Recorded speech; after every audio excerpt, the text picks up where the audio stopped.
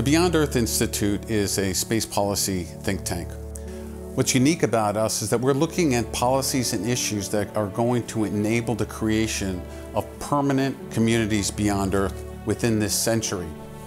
We're trying to address the crucial, in a very sober way, issues that can help to shape that future.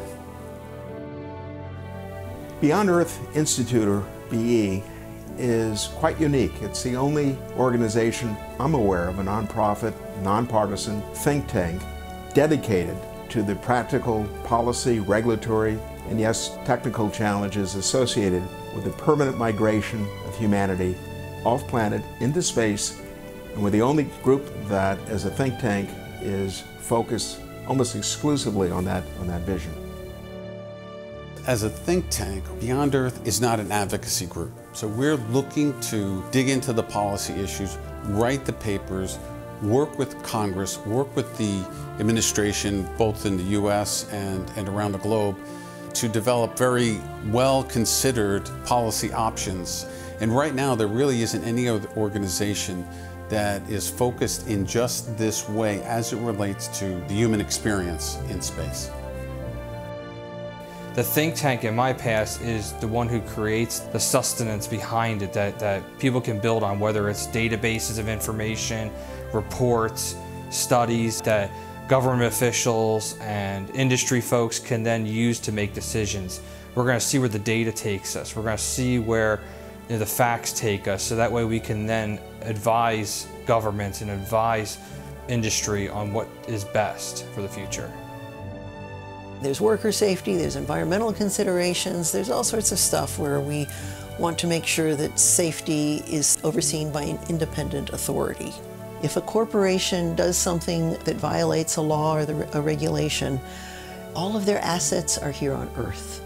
But do we really want to spend our limited tax resources on regulating things that don't hurt anyone? Because remember, regulation carries a cost. And if we want to make sure that things happen in outer space, let's not slow it down with regulatory drag.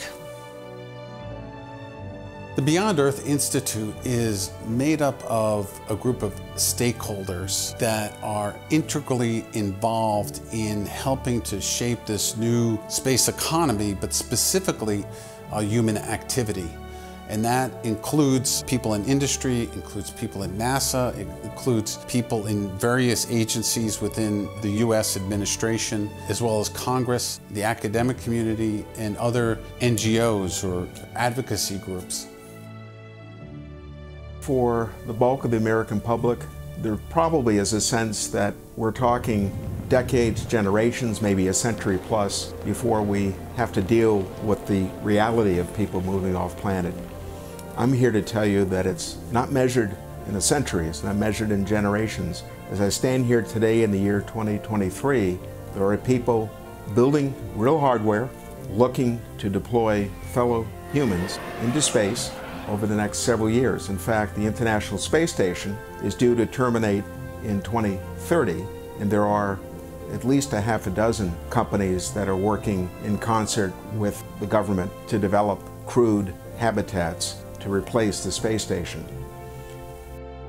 And that's the one nice thing about Beyond Earth is we have been able to bring together people from all over different uh, occupations, different parts of the world, different cultures. You have your bankers, you have your blue collar workers, your white collar workers, you know, your educators, people from all walks of life. And they're coming together to create this unified vision and to ensure that everyone has a part in this. So it's not just the rich, it's not just a select group of people, it, it can be more than that. And that's the one nice thing is, again, we all bring different skills.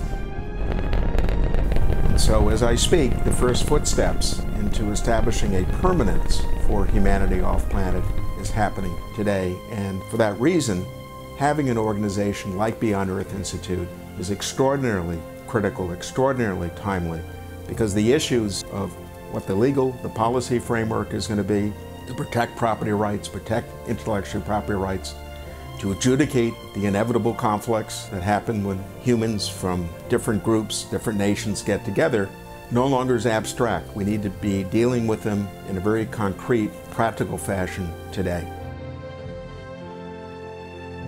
What Beyond Earth is trying to do is trying to coordinate with this entire stakeholder community in a way that can make everyone speak the same language for increasing human presence in space over time and recognizing that that increasing presence will ultimately lead us towards this future where we can create full communities beyond Earth.